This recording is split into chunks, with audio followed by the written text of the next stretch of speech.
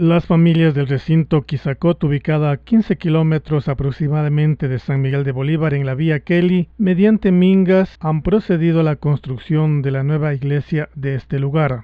Esto se inició el 16 de agosto. Ya estaba viejita. Ya. Con el temblor bastante se trizó. Y decidieron hacer nueva. Y ahora está haciendo una nueva. Ojalá Dios quiera que se termine, ¿no? La población ha colaborado con la mano de obra, alimentación y aportes económicos para hacer realidad esta obra de carácter religioso. Con puro mingas. Sí. Sí, con, todo, mano de obra, alimentación, todo. Con dinero también, pues. Sí. Con dinero, toditos. Todo el esfuerzo de la comunidad. De la comunidad y de tantas comunidades, no solo de la comunidad. Ah, ya. Sí, de tantas partes. Más es la comunidad. Bueno, si vienen gente de, de otra San Gerardo.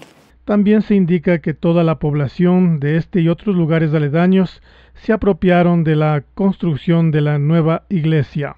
Como se sigue reuniendo, yo tenía hace unos 15 días atrás hecho cuenta como 11 mil dólares. Ya.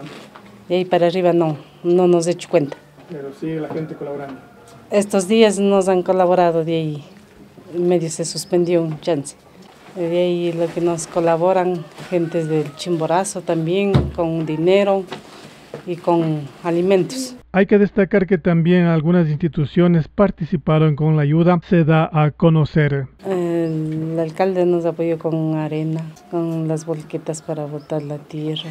El prefecto nos apoyó con ripio con los, los soldadores. Eso también que era mandado del prefecto. Desde Quizacoto informa Ángel García.